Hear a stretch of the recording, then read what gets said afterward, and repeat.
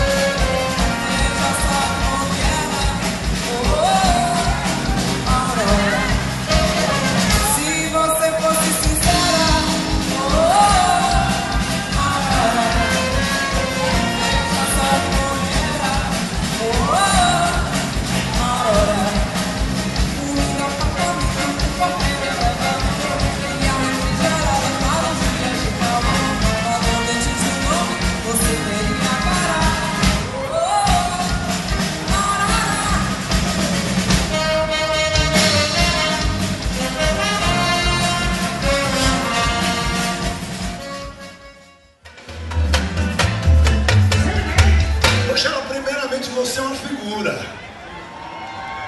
Rapaz, é sucesso então, nego. Música do carnaval. Sacode a roseira, balança a poeira.